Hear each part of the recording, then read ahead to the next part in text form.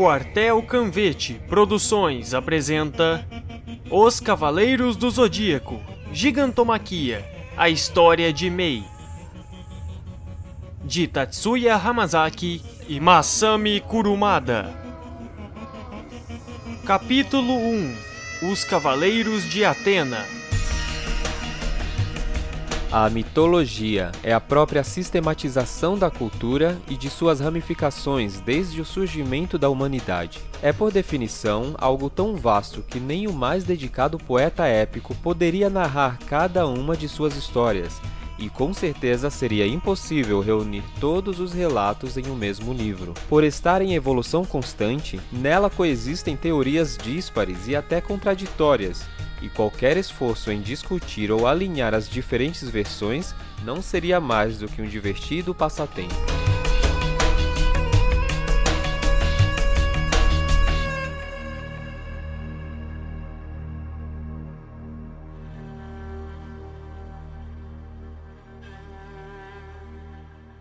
Na antiguidade, os gregos eram chamados de helenos, ou povo de Elas, forma como se referiam à sua terra natal. Até os dias de hoje, a Grécia se intitula República Helênica, cada vez que sua delegação de atletas lidera o desfile de abertura dos Jogos Olímpicos. O nome que usamos tem origem latina e foi adotado inicialmente por estrangeiros. Na verdade, a palavra Grécia só existe na língua portuguesa, sendo traduzida de diferentes formas em outros idiomas, como Greece em inglês. Essa confusão é mais comum do que se pode imaginar. Os japoneses, por exemplo, chamam sua terra de Nippon ou Nihon, e não de Japão, e suas variações, dependendo da língua como o país conhecido no resto do planeta. Conta a mitologia que o mundo como nós o conhecemos teve início quando Zeus provocou um dilúvio para destruir a humanidade. Ele era o mais poderoso dos deuses gregos e considerava a espécie humana cruel e medíocre. Apenas um casal conseguiu escapar dessa catástrofe: Deucalião, filho do sábio titã Prometeu, aquele que dera aos homens o fogo até então um dom exclusivo dos seres imortais, e Pirra, filha de Pandora, a primeira mulher, que recebera dos deuses inúmeros presentes. O primogênito desses sobreviventes recebeu o nome Heleno e se tornou o lendário pai do povo grego.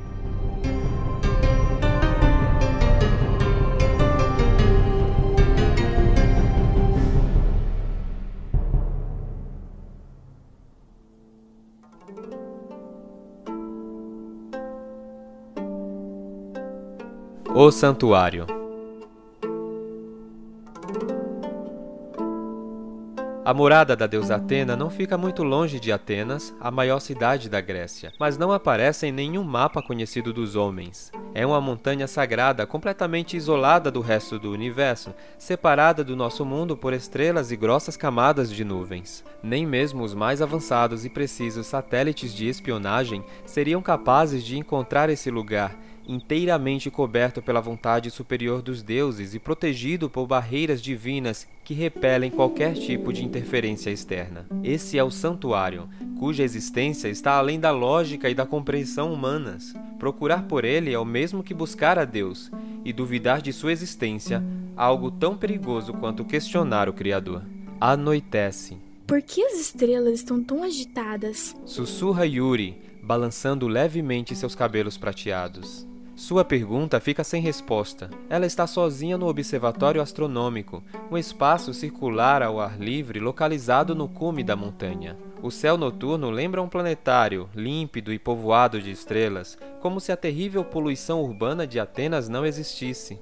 No piso sob seus pés, há o mosaico delicadíssimo de um mapa duodecimal indicando os quatro pontos cardeais: Áries, Touro, Gêmeos, Câncer. É como se as estrelas estivessem caindo da Via Láctea. Yuri está em pé no posto de observador estelar. Seu traje lembra os usados pelos antigos gregos.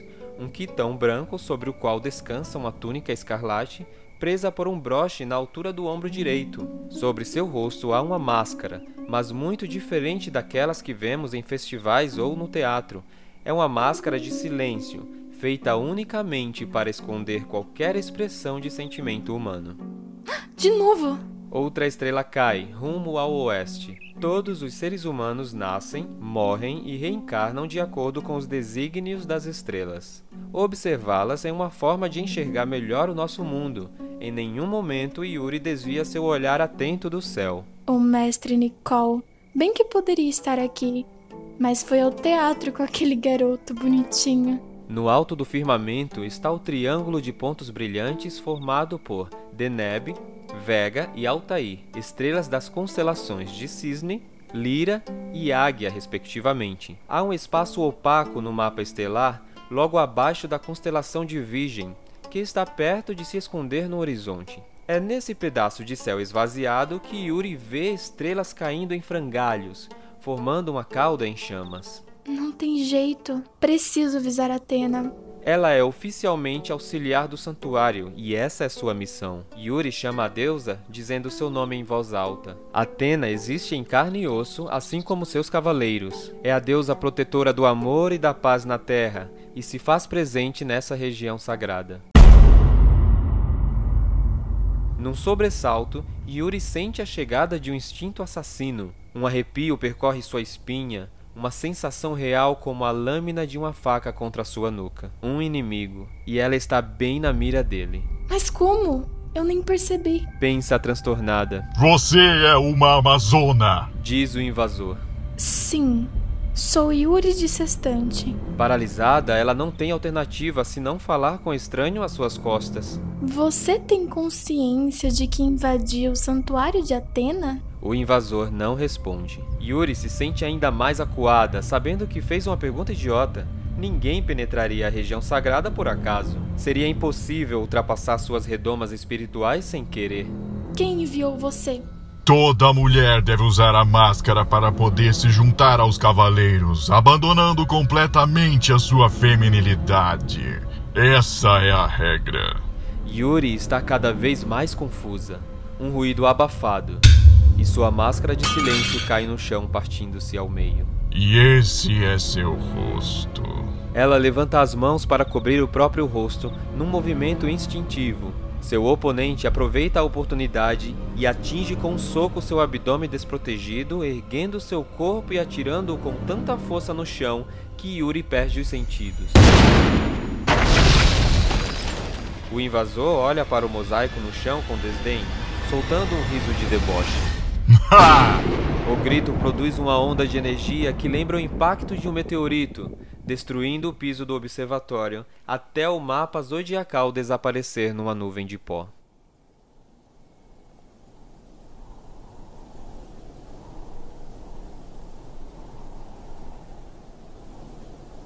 Os Santos de Atena, Parte 2 O homem acorda de sua soneca com um chute que o lança mais de 10 degraus escada abaixo. Levanta, cara. Nossa, essa doeu. Ah, eu tava dormindo tão bem. Uma pausa. Seu tom de voz muda completamente ao perceber quem o acordou. Ai, ai, ai, ai, ai, ai, ai. Quantas vezes eu tenho que acordar vocês? Parecem macacos. Diz, sem cerimônia, o garoto japonês de corpo delgado. Ah, bo- bo- boa noite, Ceia. Responde o homem na escada, enquanto sacode rapidamente seus dois colegas que também cochilavam. Os três vestem armadura de couro, um uniforme de soldados defensores do santuário de Atena. Se frequentasse a escola, Seiya estaria cursando o ginásio. O aspecto franzino e seus menos de 1,70m de altura não lembram em nada os imponentes e musculosos lutadores profissionais. Seus cabelos formam ondas que dão impressão de intenso dinamismo e seu olhar penetrante transborda aquela energia típica dos jovens. Com seu traje e protetores de couro, parece pronto para uma festa à fantasia. Ô moçada, vocês são a guarda noturna. Tem que vigiar o santuário sem dormir. Cla- claro, senhor, a gente sabe. Então por que ficam cochilando? Continua o garoto. Vocês andam muito moles. Não é porque está tudo em paz que nunca mais vai aparecer um inimigo. Seiya fala com autoridade, como se fosse um sargento comandando sua tropa. É por essas e outras que vocês nunca deixam de ser soldados rasos. Completa ao se afastar do grupo, deixando para trás os soldados, assustados até o último fio de cabelos. Se bem que esta noite de verão está mesmo perfeita para uma soneca. Ceia também está em serviço, mas sua vigilância é solitária. Foi muito azar ter sido escalado para a patrulha noturna neste calor. Talvez tivesse sido melhor aceitar o convite de Shun. Com certeza seria divertido passear em Atenas. Mas assistir uma peça de teatro fedendo de tão velha. Que graça o Shun vê nisso. Parecendo se esquecer da bronca que deu nos soldados ainda há pouco, Ceia solta um bocejo sossegado e tranquilo. No céu, uma imensidão de estrelas. Este sempre foi o santuário de Atena. Os doze templos da abóbada celeste compõem uma trilha íngreme ao redor da montanha rochosa. São as chamadas casas zodiacais: Áries, Touro, Gêmeos, Câncer, Leão, Virgem, Libra, Escorpião, Sagitário, Capricórnio, Aquário e Peixes. Esse caminho tortuoso leva à sala do mestre e ao templo de Atena, o mais sagrado de todos. O Odeon fica ao pé da montanha, ao lado de outras construções comuns, como casas e a Torre do Relógio. Assim como acontece em Delfos, famosa por seu oráculo, a cidade parece se erguer em torno do monumento sagrado. Neste mesmo espaço convivem diferentes estilos arquitetônicos, alguns de períodos separados por milênios, as ruínas de edificações antigas são testemunhas do uso contínuo desta região ao longo de muitas e muitas eras. Esta é a sé dos cavaleiros que defendem a terra. Desde os mais antigos mitos e fábulas, Atena saiu sempre vencedora dos combates entre deuses em fúria. Todos os relatos dão conta de que a deusa guerreira nunca falhou em sua luta pela defesa da paz, e em nenhuma ocasião o santuário caiu diante de forças maléficas. Ceia interrompe abruptamente sua caminhada vigilante. Mas que sensação é essa? Um pressentimento desagradável. O jovem volta seu olhar na direção do observatório celeste, no cume da montanha. Os gritos pegam ceia de surpresa. Mas o quê? Alarmado, ele sobe as escadas o mais rápido que pode, pulando quatro ou cinco degraus a cada passo. Um odor penetrante e espesso de sangue faz com que prenda a respiração por um instante. O cheiro é tão forte que parece vir de sua própria boca. Mais um rato! Diz uma voz vindo das sombras enquanto são atirados na direção de ceia os pobres coitados responsáveis pelos berros horripilantes. Esses são os. O primeiro tem todos os ossos em pedaços, aparentemente esmagados por uma força devastadora. O segundo está todo perfurado, cada centímetro de seu corpo atravessado por agulhas. O terceiro é um cadáver desfigurado, com a pele arrancada como a casca de uma romã. São os três guardas que há pouco cochilavam, mortos, soldados de Atena, derrotados em seu santuário. Quem está aí? grita ceia na direção dos inimigos até agora ocultos nas sombras. Só então consegue enxergar dois dos invasores que ousaram sujar de sangue a região sagrada. Agrios, a força brutal.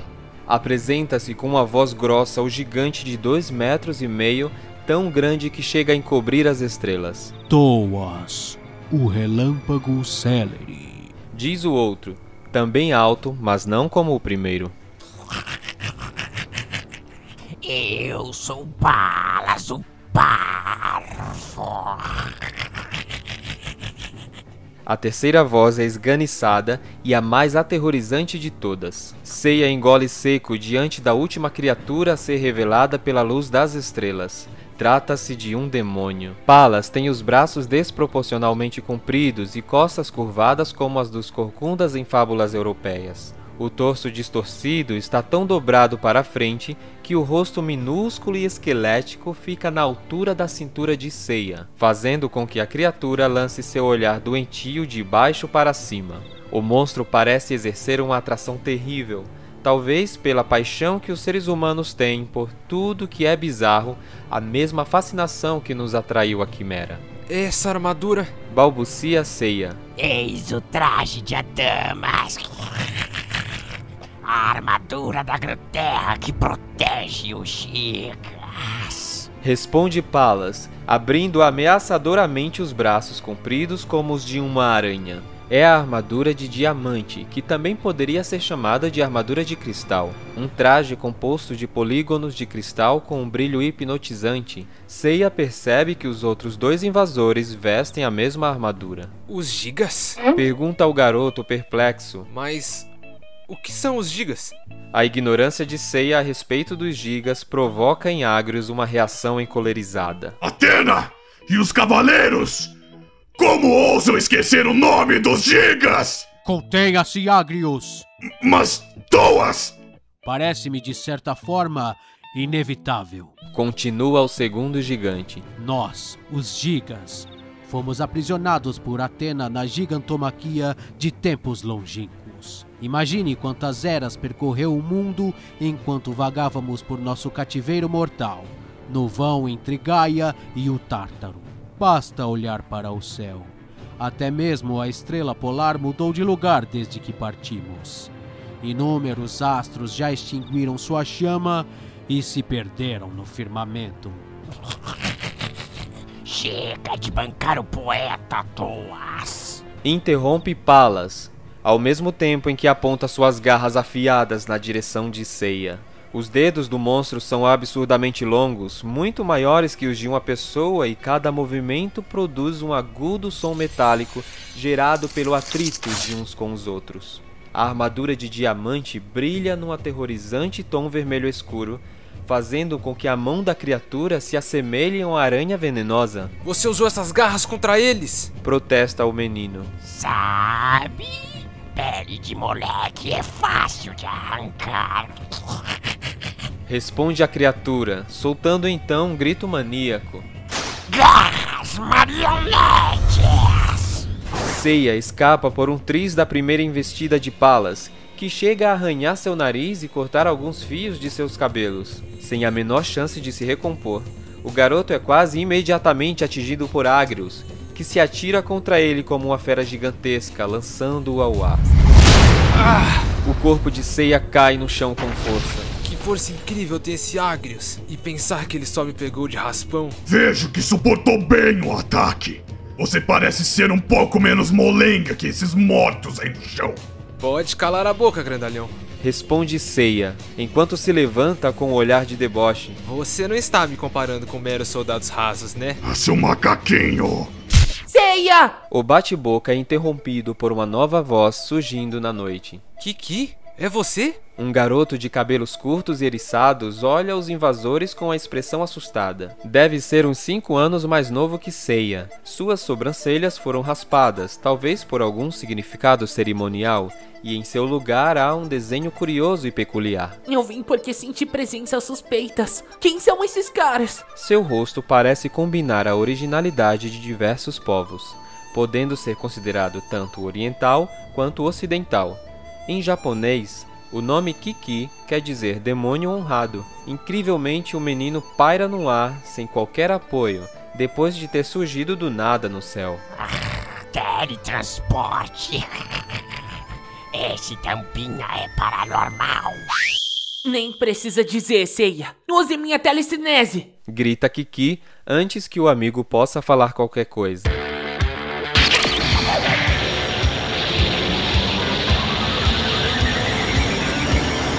Nesse instante, uma espécie de baú rompe o espaço, surgindo numa esfera de luz sobre a cabeça de Seiya. A claridade faz com que os gigas cubram seus olhos ofuscados. É uma caixa feita de bronze, decorada com imagens de um cavalo alado em baixo relevo.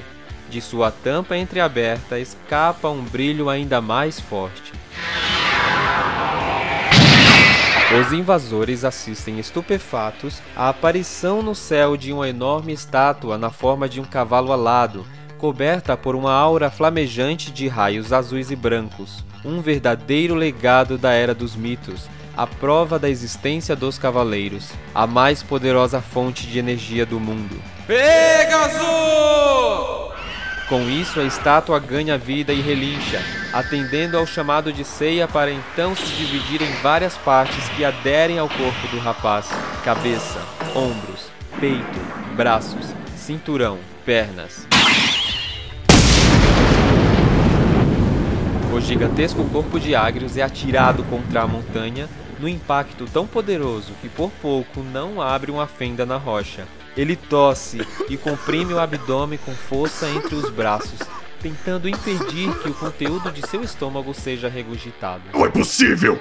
Um soco invisível! Eu não disse grandalhão. Nem o melhor praticante de luta ou arte marcial, seja karatê, boxe ou muay thai, é capaz de derrotar numa única investida um oponente que tenha o triplo do seu peso. Mas Seiya é diferente. Ele domina a luta de Atena. Quando seu punho cortou o vazio, passando bem perto da cabeça de Agrius, o movimento enviou uma onda de choque, sinal de que o soco fora desferido a uma velocidade superior à do som. O golpe prova que ele é um guerreiro escolhido pelas constelações espalhadas pela abóbada celeste. Ah, é assim! É assim, moleque!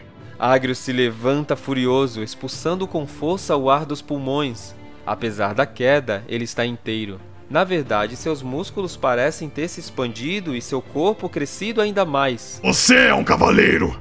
Ceia! Meu nome é Ceia da constelação de Pégasus. Esse é um jovem de poder lendário. Sua força vem da estátua de Pégaso, que sai de sua caixa dourada e se rompe em pedaços para formar uma impenetrável armadura protetora. As asas do cavalo se dobram magistralmente como um leque, encaixando-se em suas costas. Sua cabeça toma a forma de um elmo e seu corpo se transforma num escudo peitoral. O que era o pescoço do animal agora cobre o braço direito de Ceia, enquanto a cauda adere ao braço esquerdo e o peito é um cinturão. As patas dianteiras e traseiras se mesclam de forma complexa, protegendo as pernas do jovem das unhas dos pés até os quadris. A poeira estelar se espalha, cintilando no ar. O traje celestial de ceia está completo. É sua armadura sagrada, permitida apenas aos cavaleiros escolhidos por Atena. É bom que vocês saibam. Grita o garoto. Eu estou muito bravo. O traje branco azulado de Pégaso provoca em Ceia uma explosão de energia. Meteoro de Pégaso! Como? Os punhos se multiplicaram! Pergunta-se a besta enquanto fachos de luz se espalham por todos os lados. De repente, um ruído abafado interrompe o golpe supersônico de punho de ceia. O movimento é contido pela armadura de Toas, o relâmpago Celery, que até então se limitava a assistir à luta. Esfria a cabeça, Agrius! Diz o segundo gigante, colocando-se diante de Ceia. Você nem percebe como esse ataque é limitado. Punhos multiplicados? Que nada. A mim pareceu que cada soco se arrastava como uma lesma. Como esse cara pode ser tão veloz? Ceia está surpreso e confuso. Toas fora capaz de repelir todo o fluxo de golpes e ainda segurar seu punho. É verdade que não se deve subestimar o poder de um cavaleiro em seu traje sagrado. Continua Toas, apertando com mais força ainda o punho do garoto. Você vai ver uma coisa, moleque!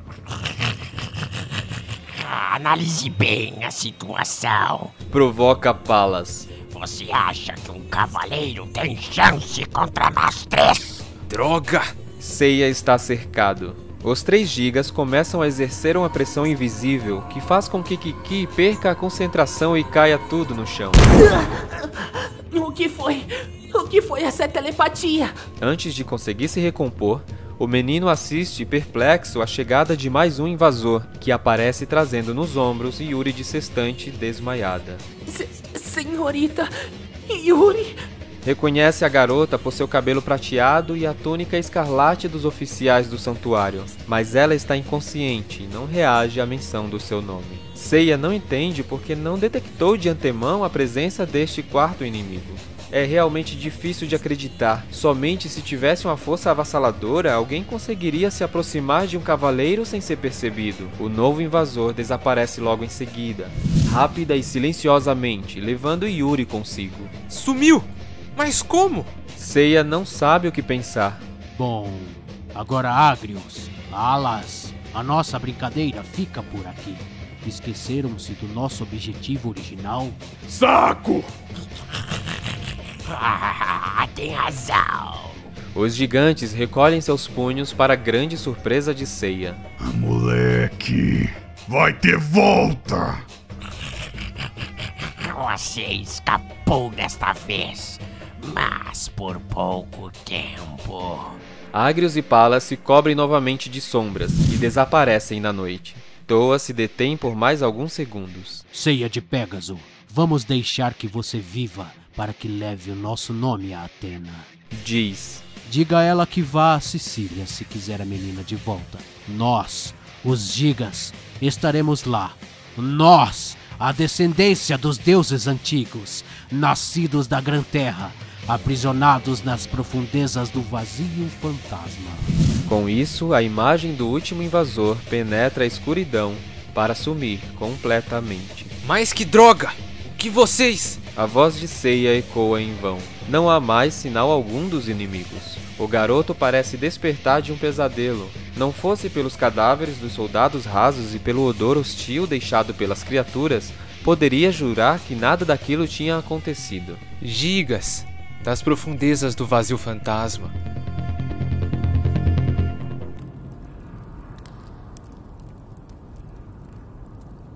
Os Santos de Atena, parte 3 A sala do mestre fica logo na entrada do templo de Atena, além das doze casas zodiacais. O mestre é o líder supremo dos cavaleiros, o servo mais importante de Atena. A senhorita Yuri foi sequestrada? Shun voltou ao santuário logo após a confusão no teatro da Acrópole, apresentando-se imediatamente com sua armadura de Andrômeda. O traje tem um brilho cor-de-rosa que lembra mais um vestido de donzela do que a armadura de um guerreiro. Droga! Eu estava lá e não pude fazer nada. Seiya cerra os punhos, inconformado por ter deixado os inimigos escaparem. Ele também está vestido com seu traje celestial, que é essencialmente um uniforme de combate. O fato de os cavaleiros estarem usando suas armaduras significa que esta é uma reunião de guerra. Sr. Nicole, o senhor está ferido? Está tudo bem comigo. Foi mais um susto. O ataque me pegou de surpresa. Assim como Shun e Seiya, Nicol é um cavaleiro de Atena. A sala do mestre é cercada por colunas dóricas e adornada com cortinas. No centro do recinto existe um patamar mais alto coberto por um tapete, onde fica o assento do mestre. Mas não tem ninguém sentado ali. O cargo do mestre está vago. Nicol, chefe dos oficiantes, é quem tem cuidado da administração do santuário. Você, leitor, saberia dizer quantas constelações existem no céu? Segundo os astrônomos, são 88, mas esse não é um fator absoluto. Cientificamente falando, assim como não existe uma opinião predominante sobre a descrição de cada constelação. Na verdade, o número 88 foi uma padronização adotada pela União Astronômica Internacional em sua Assembleia Geral de 1930 e se baseia no modelo do astrônomo clássico Ptolomeu. Essa contagem oficial mantém aquilo que já era conhecido das civilizações antigas, ao mesmo tempo que acrescenta descobertas mais recentes, especialmente no que diz respeito às constelações meridionais. De qualquer forma, não faz muito sentido usar esse dado para contar a história das armaduras, uma tradição que remonta à era dos deuses. Uma pessoa se torna um cavaleiro ao ser escolhida como representante de uma constelação específica. O tempo todo, esses guerreiros enfrentam batalhas mortais para proteger nosso mundo do mal. Quando sua própria força não é suficiente, eles recorrem à graça divina através de suas armaduras sagradas. Por isso, cada cavaleiro tem sua própria constelação padroeira, seja ela boreal, austral ou zodiacal. Teoricamente seriam 24, 48 e 12 de cada tipo, respectivamente. Existem três gerações entre os cavaleiros: ouro, prata e bronze. Os cavaleiros de ouro estão acima de todos os outros e são representados pelas 12 casas zodiacais, as constelações da astrologia, que também representam os signos, como Áries, Touro e Gêmeos. Os Cavaleiros de Prata são os próximos na ordem hierárquica, seguindo dos Cavaleiros de Bronze. Ainda mais baixo estão os Soldados Rasos. O Mestre é responsável pelo comando de todos esses níveis, portanto, é sempre um Cavaleiro de Ouro, geralmente escolhido por seu antecessor no cargo. Já os oficiantes podem ser Cavaleiros de Prata ou de Bronze. Suas responsabilidades incluem prever a trajetória das estrelas, monitorar sinais de atividade maligna, registrar a história e transmitir o legado dos segredos místicos do santuário para gerações futuras. Alguns acreditam que existem 24 cavaleiros de bronze e 48 cavaleiros de prata mas, com exceção dos doze cavaleiros de ouro, não se sabe exatamente quantos são os guerreiros de cada estirpe. Aparentemente, nem mesmo os mestres conhecem o número total de trajes sagrados existentes. O histórico do santuário, cujos dados são relativamente novos, também não oferece uma resposta exata. Segundo o um relato recente, a quantidade máxima possível de guerreiros sagrados seria 78. Em outro registro, esse número pula para 88. Há quem diga que os astrônomos se basearam de alguma forma indireta nessa anotação para estabelecer a contagem oficial de constelações, mas não existem provas. Além disso, essas teorias se contradizem. Por exemplo, sabe que se existiu até muito pouco tempo atrás um cavaleiro de Cébero. Embora essa constelação não esteja na lista oficial dos astrônomos, o único ponto em comum entre as diferentes versões é a crença de que em nenhum momento todas as armaduras foram utilizadas simultaneamente. Também não podemos nos esquecer de que o universo não é algo estático. O mapa celeste está em constante transformação. Muitas estrelas se incendeiam e se perdem como novas e nem mesmo a estrela polar permanece imóvel num período de milhões ou mesmo milhares de anos. Todas as pessoas nascem e morrem sob o destino das estrelas. O firmamento e o mundo em que vivemos refletem um ao outro. Se o mundo muda, mudam as estrelas e seu desenho no céu, ou seja, mudam as constelações que determinam os trajes sagrados com isso, a própria natureza das armaduras dos cavaleiros é mutante e os guerreiros sagrados sabem disso.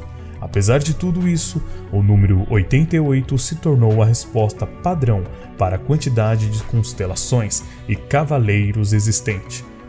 Mas nos dias de hoje, período em que se passa a nossa história, não existe nem mesmo a metade desses guerreiros com Atena na Terra. Pelo que você está dizendo, pode haver uma relação entre a pessoa que me atacou no teatro e os invasores que sequestraram Yuri. Diz Nicole que ainda sente alguma dor e por isso, vez por outra, comprime os músculos do rosto. Mas você é um cavaleiro de prata. Como ficou em desvantagem? Ceia. Nem sei o que dizer. Nicole ainda está confuso e envergonhado. Sinto muito. Por Yuri também. Yuri é uma amazona de bronze, equiparando-se a Shun em hierarquia e poder de combate, mesmo sendo mulher. Como demonstrado no golpe que Seiya acertou em Agrios, a essência divina das técnicas de luta dos guerreiros sagrados não tem relação alguma com força bruta ou capacidade muscular. O que está acontecendo? Qual o objetivo desses inimigos? Pelo menos nada aconteceu com nossa Atena, felizmente. Como você pode dizer a palavra felizmente numa hora dessas, Nicole? A voz suave inunda a sala com uma carga de afeto e bondade. As cortinas se abrem revelando a figura de uma menina moça. É a deusa da guerra e da sabedoria, a eterna Virgem, Zeus, Deus dos céus, Poseidon, Senhor dos mares, Hades, mestre do inferno, Atena, protetora da terra, com poder equiparado ao dessas três entidades supremas. Atena! Nicole dobra o joelho na reverência que se acostumou há muito a fazer. Não se pode falar em algo feliz quando a vida de um dos meus amados cavaleiros está em perigo. Continua Atena mantendo uma postura altiva. A figura feminina da deusa é de uma beleza singular. Aparenta mais ou menos a mesma idade de Seiya e Shun, tem longos cabelos castanhos na altura da cintura e veste um gracioso vestido branco. Não é nada diferente de uma garota comum, mesmo considerando sua extraordinária beleza. Foram palavras impensadas. Perdoe-me, Atena. Desculpa-se Nicole, curvando-se ainda mais. Não se culpe. Por favor, levante a cabeça. A deusa transmite sua autoridade no modo como estende a mão a Nicole, um homem aparentemente muito mais velho que ela, o que não poderia estar mais distante da realidade, como se sabe. Os gigas. Sim, eu já sei. Sua voz envolvente também transmite uma característica divina, manifestando sua vontade de Deus a cada palavra pronunciada. Afinal, a jovem é a própria Atena, a encarnação dessa divindade nos dias de hoje. Quem são esses tais gigas? São os gigantes das fábulas gregas, Ceia. Responde Nicole. Ah, fábulas. Qualquer dia você vem comigo até a biblioteca para aprender a história da criação do céu e da terra. Ah, acho que não vai rolar. Responde Ceia, tocando o próprio rosto num gesto muito constrangido. Os gigas são a própria origem da etimologia da palavra gigante. Explica Nicole com sua paciência inabalável. Gigantes como os das histórias para as crianças? Tudo bem que os caras que vieram aqui eram grandes, mas dizer que são gigantes é exagero. Deixe-me contar a história dos gigas. Continua Nicole como se fosse um professor. Ela começa na longínqua era dos deuses, algum tempo depois do surgimento dos cavaleiros e de sua primeira luta, a batalha contra o exército de Poseidon, travado nas terras de Ática. Na sala agora se ouve apenas a voz de Nicole, enquanto os outros escutam com atenção. Foi nessa época que os gigas declararam guerra contra os cavaleiros, com o objetivo de dominar o mundo. Esses antigos deuses malignos eram diferentes das entidades olímpicas como Poseidon e Hades. Chamavam-se a si mesmos de Filhos da Gran Terra e se protegiam com a armadura de Adamas, material ainda mais resistente que o oricalco. Eram seres dotados de uma força avassaladora, e a batalha entre eles e os cavaleiros teve proporções épicas. Nossa vitória foi conquistada com muito custo, e apenas graças à presença da própria Atena nos campos de batalha. Quase nenhum cavaleiro sobreviveu. Nem consigo imaginar uma guerra tão difícil. Mesmo tendo saído vencedora, Atena não pode destruir os seres malignos, que eram deuses, portanto, imortais. Ela não teve escolha senão exilá-los nas profundezas, além do Tártaro, para que sua vontade diabólica jamais invadisse Gaia novamente. Essa é a história da gigantomaquia. Gigantomaquia? É o nome da guerra contra os gigas na mitologia. Responde Nicole solenemente. Segundo o historiador grego Apolodoro, durante a gigantomaquia, Atena tirou sobre os gigas o Monte Etna, que fica na Sicília, para aprisioná-los. Peraí, você disse Sicília? Pergunta Ceia. Atena, os invasores do santuário, esses gigas, eles disseram que estavam levando a Yuri para a Sicília. Mas eu não entendo. Neste momento, a voz da deusa carrega o peso de sua dor pelo que pode estar acontecendo a Yuri. Por que não me atacaram diretamente? Estamos todos preocupados com a segurança de Yuri. Mas antes de qualquer coisa, precisamos descobrir por que os Gigas estão de volta justo agora. Eles que estavam aprisionados desde tempos imemoriais. Vamos até a Sicília. Diz Atena em um tom subitamente confiante. Você quer ir pessoalmente, deusa? Nunca permitiremos uma coisa dessas. Ah, Nicole. A voz da jovem transborda compaixão. Fico feliz que você se preocupe comigo, mas não posso abandonar meus cavaleiros. Que espécie de mãe deixaria seus filhos para trás? A imagem da garota se referindo aos guerreiros sagrados como seus filhos é muito poética e demonstra sua inabalável determinação em protegê-los. Uma deusa disposta a lutar por aqueles que ama. É o seguinte! O tom mais alto de ceia interrompe o momento solene. Ainda não saquei qual é a desses gigas aí, mas não dá para ficar sentado aqui sabendo exatamente onde os caras estão. Eu vou até lá. Eu também. Concorda Shun. Ainda temendo pela segurança de Atena, Nicole decide tomar as rédeas da situação usando sua autoridade como mestre interino. Então vão os dois. E com isso, a missão é oficialmente transferida a Seiya e Shun. Primeiro passo é investigar as forças inimigas. Acrescenta Nicole. Só então submeteremos a decisão ao juízo de Atena. Mas. Já está tudo decidido e providenciado, senhora. Completa, ignorando a tentativa de protesto da deusa. Uma voz estridente do lado de fora. Kiki se junta aos outros na sala do mestre. Bom trabalho, Kiki. Caramba, nossa senhora Nicole. Você gosta de abusar da gente, né? Diz o menino em seu tom infantil e animado. Tudo bem que a Sicília fica a meros 800 quilômetros daqui. Mas é que deu um trabalho danado ter que atravessar o Mar Iônico e a Península Italiana duas vezes. Você já foi e voltou de Sicília, Kiki? É, pois é. Kiki lança uma piscadela para a ceia. Você parece estar muito bem. Diz Nicole sorrindo. Tem energia de sobra para reclamar. O teletransporte provoca um enorme cansaço espiritual especialmente em uma jornada de ida e volta sem descanso como essa. Eu pedi a Kiki que trouxesse um guia de lá. Explica Nicole. Eu vou contar um segredinho para vocês. Teleportar alguém cansa duas vezes mais. Kiki não para de tagarelar sentando-se no chão. Um guia? Sei ainda está bastante confuso. Vocês vão precisar de alguém para mostrar o caminho. A resposta é dada por uma nova voz. Sicília é a maior ilha do Mediterrâneo. Você não quer ficar perdido por lá, né, Ceia? O garoto recém-chegado fala com ironia e dá um tapinha no ombro de Ceia, demonstrando intimidade. Mas o cavaleiro de Pégaso parece não ter a menor ideia de quem se trata. O estranho é uns 10 centímetros mais alto que ele e aparenta ser dois ou três anos mais velho. Tem uma tatuagem no braço e usa roupas esfarrapadas que poderiam pertencer a um menino de rua. Seu cabelo comprido e tingido de prateado está penteado para trás, fazendo com que sua expressão lembre a de um lobo. Quem é você?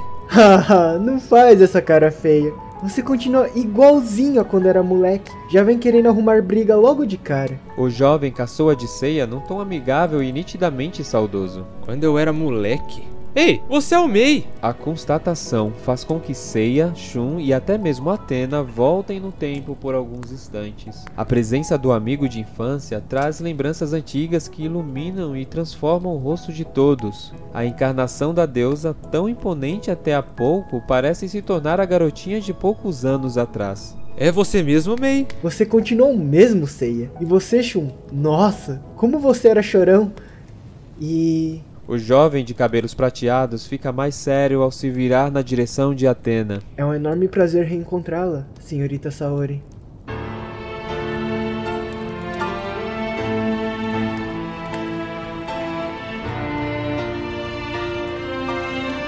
Os Cavaleiros do Zodíaco Gigantomaquia A História de Mei Capítulo 1 Os Cavaleiros de Atena Conta com as vozes de Bonifácio Gonçalves como narrador 1, Marcos Mirai como narrador 2, Antônio Corrigiari como Ceia de Pégaso, Pedro Yoshiaki como Shun de Andrômeda, Matheus Azevedo como Nicole, Kenzo Kozonoi como Mei, Ana Paula Markewicz como Saori, Hugo Silva como Kiki, Lucas Saguista como Palas, Diego Piana como Encélado, Márcio Oliveira como Toas, Mestre Jordison como Agrius, Ana Azolini como Yuri de Sextante.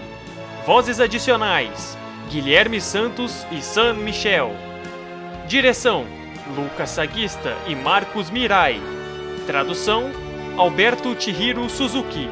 Edição de áudio e sonoplastia: Diego Piana. Encerramento: Paulo Piazza. Essa é uma produção do grupo Quartel Canvete.